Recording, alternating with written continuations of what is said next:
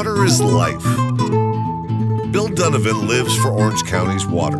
For 44 years, Bill has worked at the Orange County Water District. As a young man, Bill was part of a team that built and operated the first water recycling plant to use reverse osmosis membranes that turned wastewater into drinking water. This silver fox now oversees operations of the largest advanced water recycling plant in the world and one of the best managed groundwater recharge systems.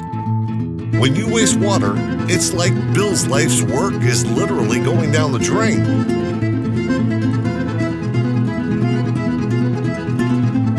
Sorry, Jenny, you're right. Most of the water used in the OC gets recycled over and over again thanks to Bill. So Bill's life's work goes down the drain over and over and over again, not just once. Recycling nearly all of Orange County's wastewater. Just one way Bill and OCWD provide reliable and exceptional water to Orange County